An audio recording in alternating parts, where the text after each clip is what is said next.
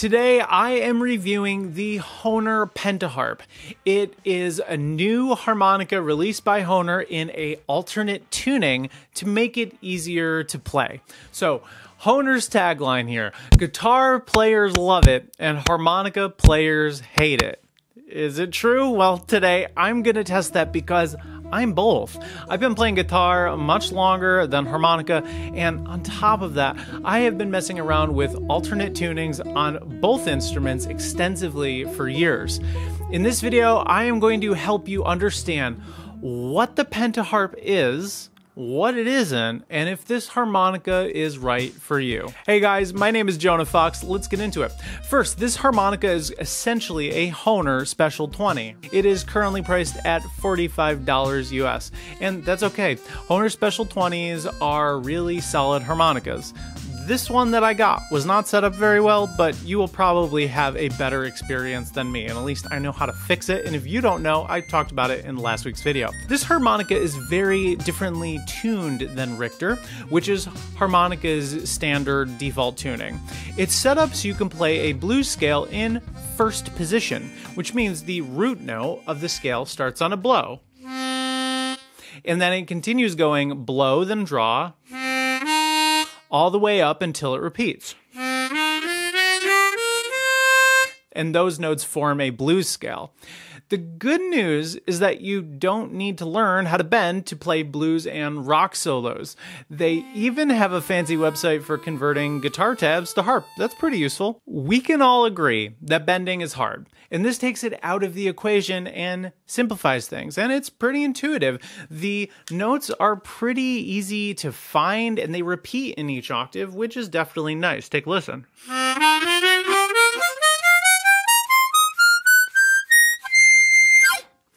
So in Richter, you can play a blues scale in what we call cross harp or second position. And this does require some tricky bends, and the scale doesn't translate well to the high octave, especially compared to the pentaharp, without more advanced techniques like overblows. It's harder, no doubt, but it also sounds good and it feels natural. So here's the blues scale. It sounds cooler. I, I just am going to be real with you. There's a reason why the bends are a key part of harmonica playing because they sound really cool and they add a lot of nuance and subtlety that like the pentaharp just doesn't have. And you know, if you really want to avoid bends, you know, this isn't even the whole story. You can play a blues scale in third position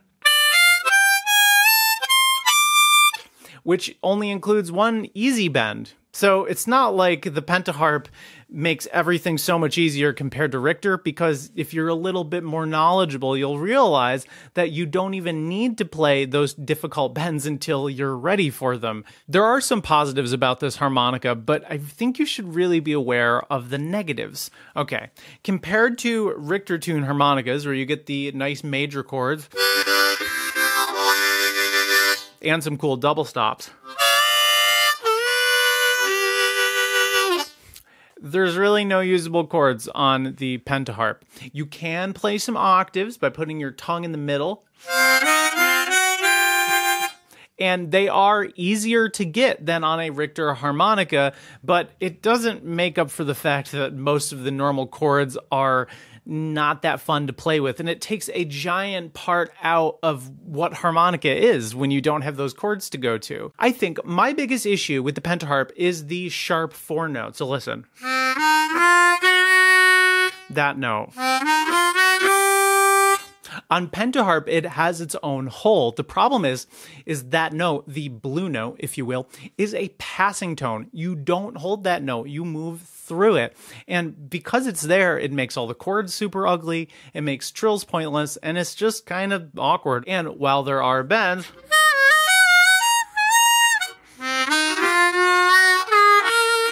they're just not on especially useful notes. And you know that cool trill harmonica players do? The it just doesn't sound good on this thing, okay? So there's a bunch of things that harmonica players are used to that you really just can't do on this instrument. So let's go revisit the tagline, okay? Will guitarists love this? Well, it's easier, that's for sure. However, this does assume that guitar players don't like a challenge, which we do. So that's just flat out wrong. Also, why is harmonica really cool? It's the bends, it's the chords, it's the trills, it's that gritty, bluesy growl. This thing doesn't have any of that. It sounds kind of sterile in comparison. If you don't play harp and you want a new toy to mess around with, in that case, I guess it's a decent choice, but just be aware if you enjoy it, you're probably going to have to start at the beginning if you want to take it seriously or just buy a different model of harmonica. It's a harmonica. It's not a guitar. It's not like any guitarist will pick this up and immediately be able to play. It will still take a few days to weeks to months to develop the control and the breath support to play this thing. It's a wind instrument. So remember what I said about chords? Besides missing them, you have to be really accurate with your embouchure or your mouth position which, in my opinion, holds new players back much more than bending. On a Richter tuned harmonica, you can just kind of play and then kind of tighten it up down the road, but on this harmonica, you gotta be very accurate right from the beginning for it to just not sound bad. Alright, I'm not done, but before we continue, would you give this video a like? It helps me out. Thanks so much. How about harmonica players? Will you hate it? Actually, I don't think so. It can be fun as a novelty, just know that it doesn't really play to the harmonica's strengths. The trills don't work. The chords, they're not that good. You got octaves, but that's it.